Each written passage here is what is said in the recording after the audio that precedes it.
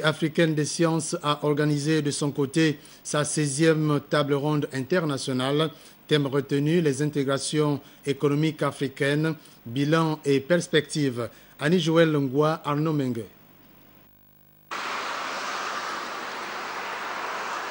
Au regard des réalisations effectuées depuis 1963 jusqu'à nos jours, le conférencier et professeur Ahmed Labibi a dressé un bilan positif sur les perspectives des intégrations économiques africaines.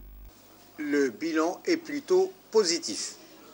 Il y a d'abord le fait que les pays africains ont quand même pu surmonter tous les clivages, tous les conflits qui ont traversé ces 50 années d'existence, depuis leurs indépendances, depuis la création en 1963 de l'OUA.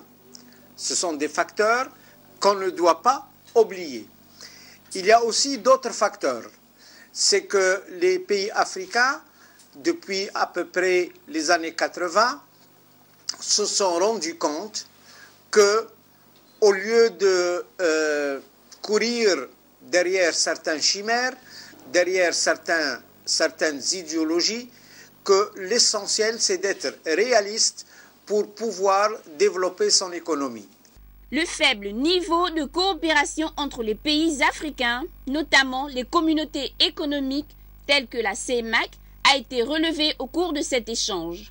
Les pays occidentaux, et je parle particulièrement de l'Europe, qui participent à raison de 77% du budget de l'Union africaine, ce n'est pas rien. Cela veut dire qu'il y a euh, certaines interférences dans les décisions de l'Union africaine. Les pays africains devront développer et appliquer les mécanismes nécessaires à une intégration économique efficace.